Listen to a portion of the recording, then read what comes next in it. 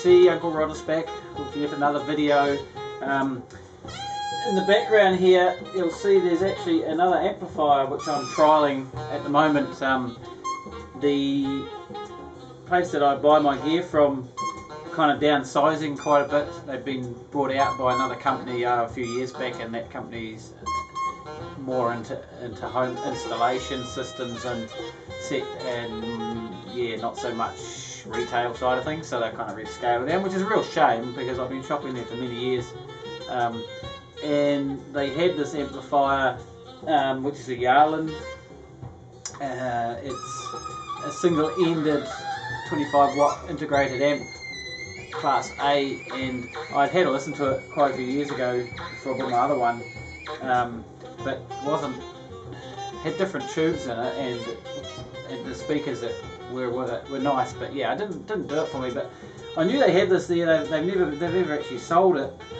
Well not this this one um, and it may even be a slightly different version than the one I originally listened to but anyway I knew they had it and he said they were going to send it back and I said to him well have a, I'll have a listen to it and you know do us a deal on it and they yeah they said that was cool so um, yeah it's it's amazing. Um, I'm actually playing a CD at the moment. This is this is a bit of um, John Zorn's Masada live in Sevilla 2000 fantastic recording.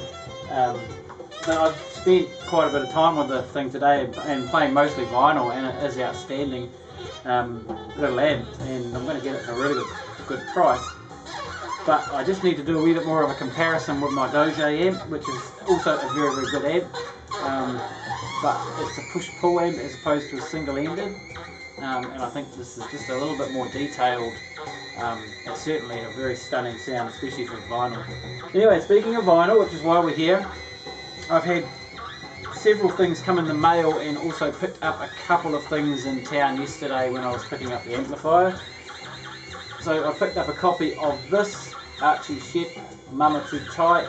Um, this is an Impulse reissue, Universal Music, ooh, from 2009. It's a nice um, 180 gram vinyl, sounds really good. Very clean, very quiet piece of vinyl. There is a couple of wee clicks on it, unfortunately it just seems to be the way of things nowadays.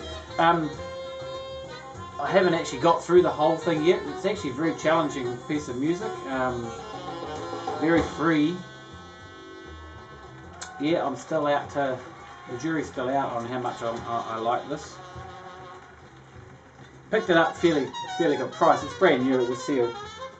Because there's a guy down south in Dunedin who sells records on Trade Me. He's part of one of the, uh, part of an online Facebook group and yeah, I've bought several albums off him in the past. Um, another one that he had, which I've been meaning to get my hands on for quite some time, is this Sonny Sharrock album. And this is his debut album from 1969, Black Woman. Um, that's his partner Linda that on the cover with him. She's doing a lot of vocalizing on this album. This is outrageous album. It's absolutely outrageous. It's fantastic. Um, I, I was familiar with the first track, Black Woman. The rest of it I'm not familiar with until now. but the whole thing is really good. I mean, this is. I mean, it's classified as jazz, but some of it doesn't sound all that jazz to me. Um, it's pretty free form. It's pretty out there and outrageous, and um, yeah, I, I, really enjoyed it.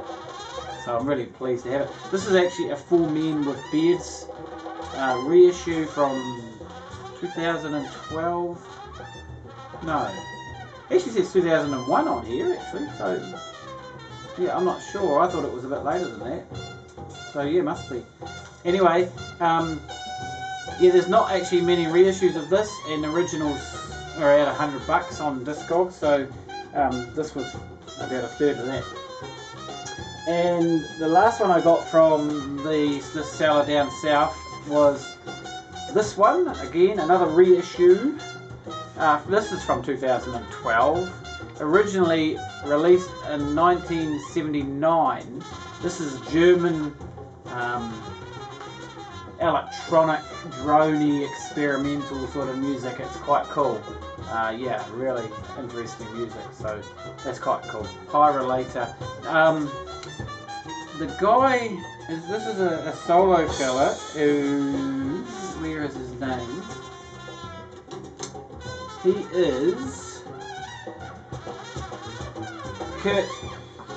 No, I can't pronounce his last name. Kurt Dalek, Lucky. Dalek. And he was also around about the same time in a band, DAF. DAF, where are they? They've got a big long German name, but DAF is short, and I can't see it. Ah, Dutch, Dutch Amerikanisken Prudentia. Right, ah. Absolutely useless at that, but DAF. Um, so he was in that band, and they are reasonably well known, although I don't have any of their music. But um, yeah, nice little acquisition. Now in town yesterday, while I was picking up the amplifier, of course I went into the record shop.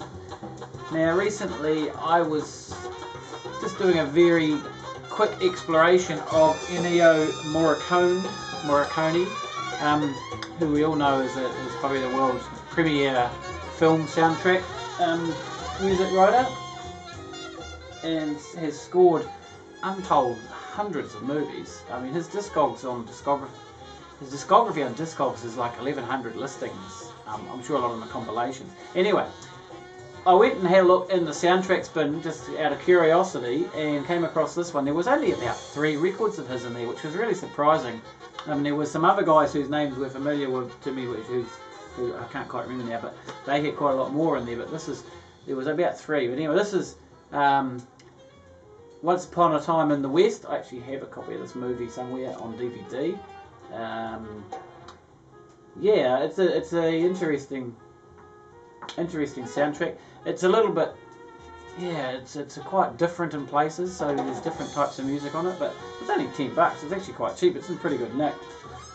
Um, I'm going to keep an eye out for more of um, Morricone's stuff because he's he's a fantastic um, musician, uh, composer, and although I'm, I, this is the first time I've had any of his music, I mean, I probably am quite familiar. Of course, I'm quite familiar with the stuff he did off um, the Eastwood movies. He did um, Fistful of Dollars and Good, Bad, and the Ugly, and those those that trilogy that he did, which are, oh, I've got all of those.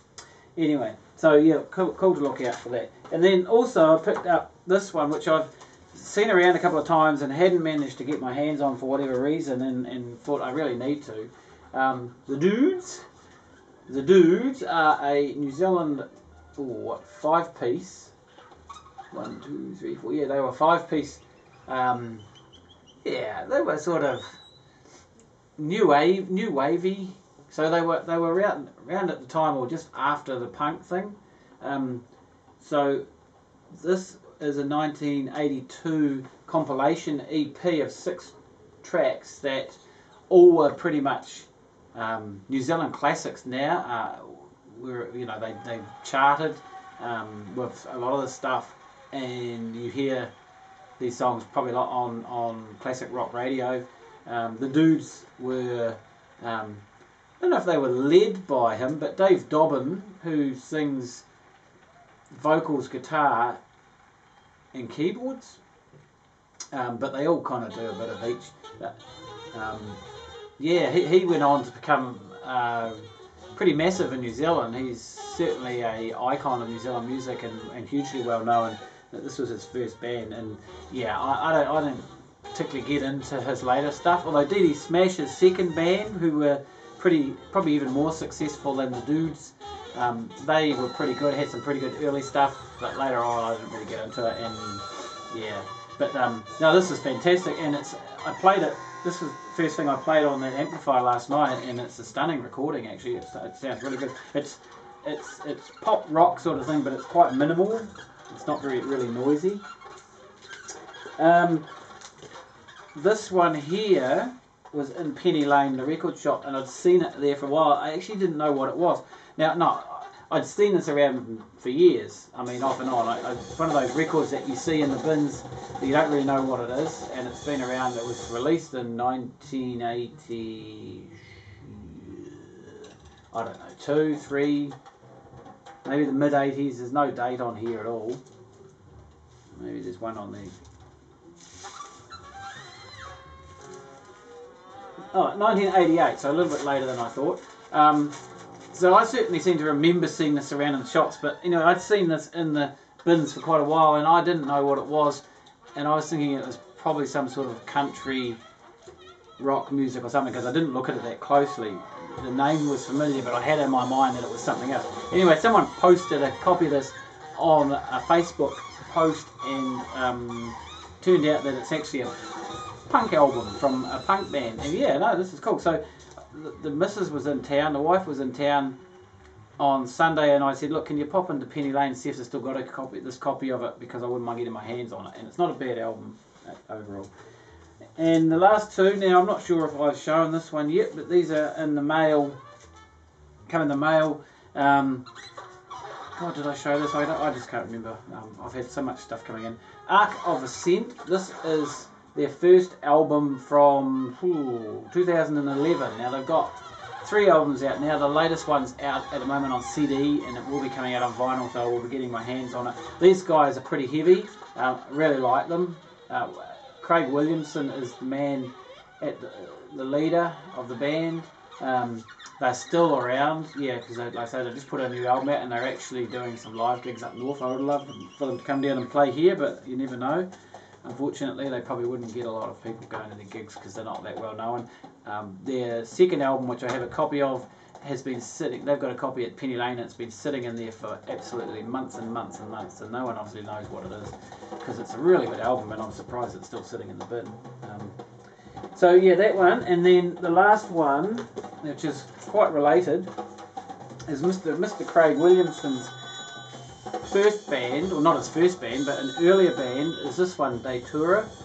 And this album, All Is One, came out in 19... No, sorry, 2012 it was released on vinyl, but I think the actual recordings were done in 1997. And there's also, oh okay, there's even a song way back from way back in 1993, so Datura are a very old band for this man, although he was in something else first. Um, I think he was in a sort of like a death metal band called Azazel, um, who don't really have any vinyl out. I think they've got some cassettes and stuff, but yeah, it's pretty cool. This is again pretty heavy psych kind of stuff, some really heavy guitaring, pretty cool guitaring and stuff on it. Um, so this was their. Actually, they only had the two albums. They had yeah, this was their first album, or second, second, I can't remember. Um, got it through Bandcamp, still some available, but this has actually got a live album included. So on the Bandcamp, it, so it sort of says it's only a single album, but they actually pressed it up as a double with the extra live concert. So, and there are some matches on the tracks, but there are also some other tracks that are not on the main album. But yeah, I like this. This is really good. I, I prefer this one in Arc of Ascent uh, has more heavier bands. He's also in a band called Lamp of the Universe, whom I showed a piece of vinyl of really recently. Um, so he's got three bands. This one here doesn't really operate anymore. This is um, although it releases from 2012. I mean the, the music's from way back, as I said. So that's my haul for now. Um, I've got quite a few in the mail as usual. Um, there should have been some more here today, and they haven't shown up yet. So the courier hasn't managed to get them here. The, the guy that was sending them was a bit delayed for some reason. So that's me. I'm going to now enjoy my new um, amp. Well, I haven't bought it yet, but I'd say I'm going to.